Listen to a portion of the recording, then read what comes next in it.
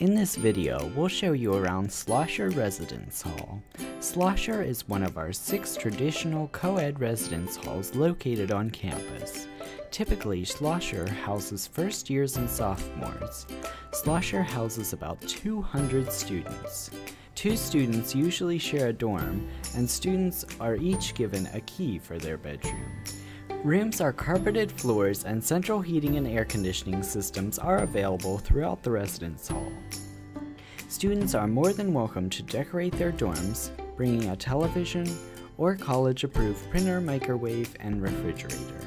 Each student is given their own bed frame and mattress. The college does not provide sheets, pillows, or blankets. Students are each given a desk, a built-in drawer with two built-in closets. Each floor has two restrooms. Schlosser rooms on the Dell side of the building, building have a great view of the lawn and gazebo.